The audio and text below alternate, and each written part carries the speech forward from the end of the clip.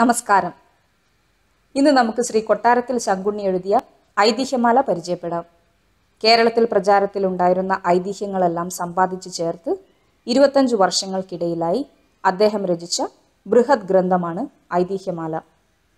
പണ്ട് കാലത്ത് ചരിത്രവും പുരാണവും കേട്ടുകേൾവിയും കെട്ടുപിണഞ്ഞ് കേരളത്തിൽ പ്രചരിച്ചിരുന്ന കഥകളെല്ലാം നൂറ്റിരുപത്തി ലേഖനങ്ങളിലായി തന്മയത്വത്തോടെ അദ്ദേഹം ഈ ഗ്രന്ഥത്തിൽ അവതരിപ്പിച്ചിരിക്കുന്നു. പറയിപ്പറ്റ പന്തിരുകുലവും കടമറ്റത്ത് കത്തനാരും കായംകുളം കൊച്ചുണ്ണിയും മലയാളികൾക്ക് പരിചയമായി തീർന്നത് ഐതിഹ്യമാലയിലൂടെയാണ്.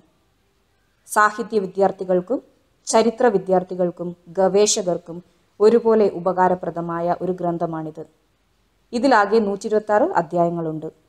അതിലെ ഇരുപതാമത്തെ അധ്യായമായ കോഴിക്കോട്ടങ്ങാടി ഇന്ന് നമുക്ക് പരിചയപ്പെടാം.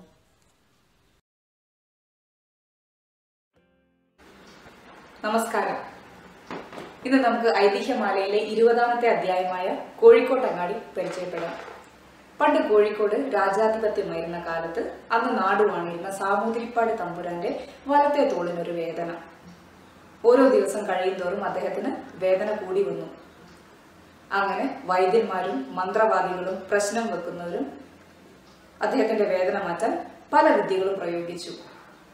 എന്നാൽ അദ്ദേഹത്തിന് വേദന കൂടിയതല്ലാതെ ഒരു കുറവും ഉണ്ടായില്ല അങ്ങനെ വൈദ്യന്മാരും മന്ത്രവാദികളും എല്ലാവരും പിന്മാറി.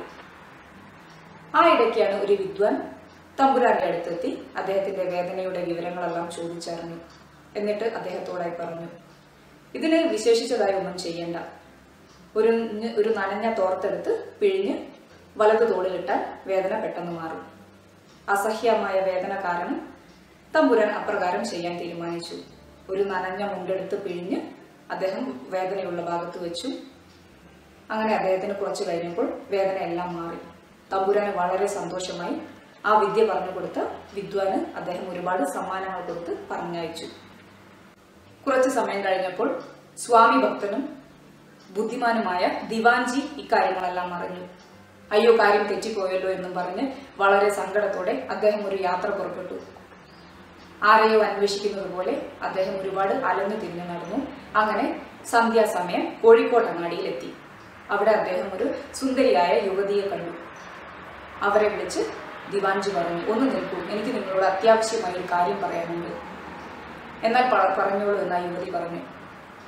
അപ്പോൾ വളരെ പരിഭ്രമത്തോടെ ദിവാൻജി അയ്യോ ഞാൻ എന്റെ മുദ്ര കച്ചേരിയിൽ വെച്ച് മറന്നിട്ടാണ് വന്നത്. ഞാനതെടുത്ത് പെട്ടെന്ന് വന്നേക്കാം. അതുവരെ നിങ്ങൾ ഇവിടെ നിന്ന് പോകരുത്. യുവതി സമ്മതിച്ചു. എനിക്ക് പറയാനുള്ളത് അത്യാവശ്യ കാര്യമായതിനാൽ ഞാൻ വന്നിട്ട് നിങ്ങൾ പോകാവൂ എന്ന് സത്യം ചെയ്തു തരണം. അങ്ങനെ ദിവാൻജിയുടെ നിർബന്ധത്തിന് വഴങ്ങി യുവതി അപ്രകാരം സത്യം ചെയ്തു. ഉടനെ ദിവാൻജി തമ്പുരാന്റെ അടുത്തെത്തി അദ്ദേഹത്തോടായി ചോദിച്ചു അങ്ങേക്ക് ഇപ്പോൾ വേദനയ്ക്ക് കുറവില്ലേ? എന്റെ വേദനയെല്ലാം മാറി. വളരെ സന്തോഷത്തോടെ തമ്പുരാൻ പറഞ്ഞു എന്നാലും ആ വിദ്യ പറഞ്ഞു തന്ന അയാൾ ഒരു യോഗ്യൻ തന്നെ. അതെ അയാൾ യോഗ്യൻ തന്നെ. സംശയമില്ല. എന്നാലും തമ്പുരാൻ ഒന്നും ആലോചിക്കാതെ അപ്രകാരം ചെയ്തത് വലിയ തെറ്റായിപ്പോയി. തമ്പുരാന്റെ വേദനയുടെ കാരണം അങ്ങ് അറിഞ്ഞിരുന്നുവെങ്കിൽ അങ്ങ് അപ്രകാരം ചെയ്യില്ലായിരുന്നു. ദിവാഞ്ചു തുടർന്നു.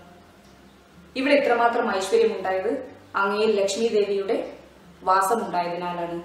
അങ്ങയുടെ വലത്തെ തോളിൽ ലക്ഷ്മി ദേവി നൃത്തം വയ്ക്കുകയായിരുന്നു. അതുകൊണ്ടാണ് അങ്ങേക്ക് കഠിനമായ വേദന അനുഭവപ്പെട്ടത്.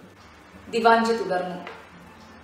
ഈറൻ കൊണ്ട് വലത്തെ തോളിൽ വയ്ക്കുന്നത്ര അശ്രീകരം മറ്റൊന്നില്ല അങ്ങനെ ചെയ്താൽ അവിടുന്ന് ലക്ഷ്മി ഭഗവതി ഇറങ്ങി പോവുകയും പകരം ജ്യേഷ്ഠ ഭഗവതി വസിക്കുകയും ചെയ്യും. ഈ തത്വം അറിയുന്നതുകൊണ്ടും അങ്ങയുടെ ആലസ്യത്തിന്റെ കാരണം അറിയുന്നതുകൊണ്ടുമാണ് ആ വിദ്വാൻ അങ്ങേക്ക് ഇങ്ങനെ ഒരു ഉപായം പറഞ്ഞു തന്നത്. എന്തു ചെയ്യാം നമ്മുടെ കഷ്ടകാലം? ലക്ഷ്മി ദേവി ഇവിടെ നിന്ന് ഇറങ്ങിപ്പോയെങ്കിലും ഈ രാജ്യം വിട്ടു പോവാതിരിക്കാൻ ഞാനൊരു ഉപായം ചെയ്തിട്ടുണ്ട്. അതിനാൽ ഇനി ഞാൻ ജീവിച്ചിരിക്കാൻ പാടില്ല എന്നും പറഞ്ഞ് ദിവാൻജി അവിടുന്ന് ഇറങ്ങി പോവുകയും ആത്മഹത്യ ചെയ്യുകയും ചെയ്തു. രാജാവിന് താൻ ചെയ്ത പ്രവൃത്തി വളരെ സങ്കടപ്പെടുകയും പശ്ചാത്തപിക്കുകയും ചെയ്തു.